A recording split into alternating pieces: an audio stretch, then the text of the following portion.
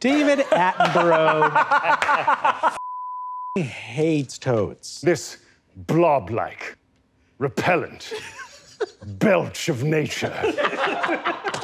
Evolution doesn't have a plan, it makes frequent and catastrophic mistakes. And this is one of its most horrible botch jobs.